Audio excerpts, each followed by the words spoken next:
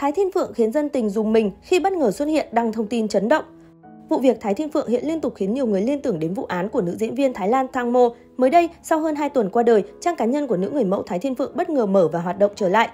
Liên quan đến vụ việc của người mẫu Hồng Kông Thái Thiên Phượng, mới đây nền tảng mạng xã hội của người mẫu bất ngờ đã được mở ra sau hơn 2 tuần cô qua đời. Điều này khiến dân tình giật mình và ngỡ ngàng.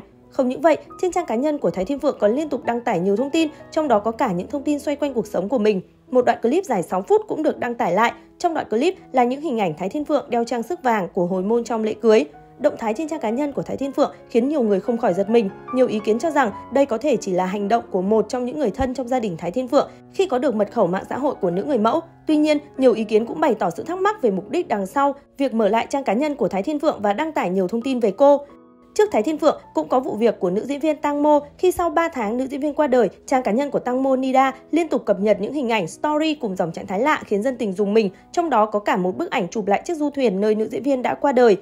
Suốt hơn 2 tuần qua, vụ án người mẫu Thái Thiên Phượng Abby Choi trở thành tâm điểm của truyền thông thế giới. Những tình tiết mới của vụ án gây rúng động này vẫn không ngừng được cập nhật và thu hút sự quan tâm của dư luận.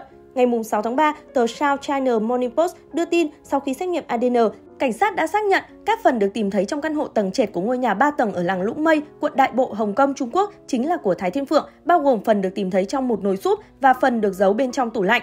Trong khi các phần được tìm thấy đã được xét nghiệm ADN thì đến nay, các sĩ quan cảnh sát vẫn đang nỗ lực tìm kiếm những phần còn lại gồm tay và thân của nữ người mẫu xấu số ở các địa điểm bị tình nghi. Tuy nhiên, một số công tác tìm kiếm hiện tại bãi rác cũng đã được ngừng lại vì gặp nhiều khó khăn. Trước đó, chia sẻ với tờ HK01, cảnh sát cho biết gia đình chồng cũ nạn nhân đã ngoan cố không chịu khai báo địa điểm vứt Thái Thiên Phượng. Vì vậy, điều này đã gây rất nhiều khó khăn cho công tác điều tra của họ. Ngày 2 tháng 3, trang Next Apple cho hay nếu các phần còn lại của Thái Thiên Phượng và những bằng chứng hữu hiệu vẫn không được tìm thấy, cảnh sát cũng sẽ khó định tội được các nghi phạm. Đồng thời, cáo buộc đối với nhà chồng cũ Thái Thiên Phượng có khả năng sẽ chuyển thành ngộ sát và thay vì trung thân.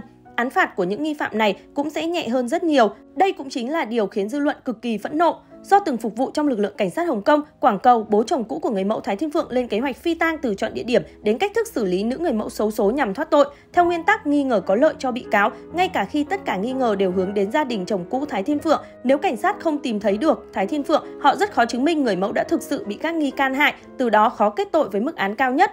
Việc không thể tìm thấy trọn vẹn Thái Thiên Phượng được cho là nằm trong kế hoạch giấu tội kỹ càng của gia đình chồng cũ Thái Thiên Phượng. Trước đó nếu không được báo mất tích sớm và không được tìm thấy sớm, Thái Thiên Phượng đến hiện tại có thể sẽ hoàn toàn biến mất theo đúng kế hoạch của các nghi phạm. Tuy nhiên, may mắn phía cảnh sát đã phát hiện sớm vụ việc khi bố chồng Thái Thiên Phượng chưa kịp hoàn thành kế hoạch như dự kiến. Đến nay đã có tổng cộng 7 nghi phạm bị bắt giữ trong vụ án người mẫu Thái Thiên Phượng.